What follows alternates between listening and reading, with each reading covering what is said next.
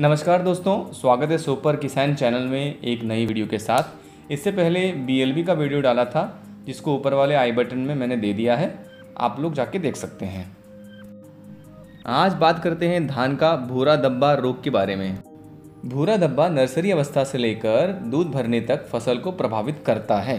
बीज के संक्रमण से अंकुरण क्षमता एवं अंकुरित पौधों का मृत्यु तक हो जाती है। इस बीमारी का लक्षण कभी कभी दाने तक पहुँच जाता है, जिस वजह से उपज का उचित मूल्य किसानों को नहीं मिलती है। इस रोग की अगर प्रारंभिक लक्षण की बात करें, यह पत्तियों पर पहले दिखता है, उसके बाद बालियों पर प्रभाव डालता है।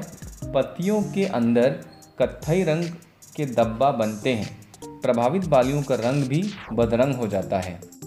अगर आपको ये वीडियो अच्छी लगी तो चैनल को सब्सक्राइब करें साथ में एक लाइक ज़रूर करें। अगर इस रोग के बारे में ज़्यादा जानकारी चाहिए तो नीचे डिस्क्रिप्शन बॉक्स में दिए व्हाट्सएप लिंक से डायरेक्ट हमसे जुड़ सकते हैं। भूरे दब्बे का प्रभावी उपाय तो बीजोपचार ही है। बुवाई के पूर्व बीज को गर्म पानी से 50 से 55 डिग्री सेल्सियस पर 10 से 12 मिनट तक भिगोकर रख दें, जिससे बीज में उपस्थित जीवाणु मर जाते हैं। रासायनिक उपचार के लिए स्क्रीन में दिए हुए दवाइयों का प्रयोग करें।